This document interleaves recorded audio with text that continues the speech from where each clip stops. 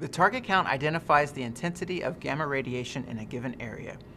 Given the random nature of radioactive decay, it can be helpful to establish an average value of counts detected over a given target area.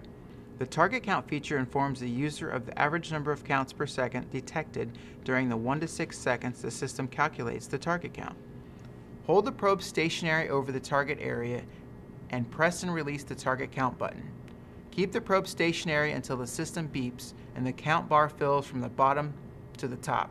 The system will then display the target count value for 5 seconds.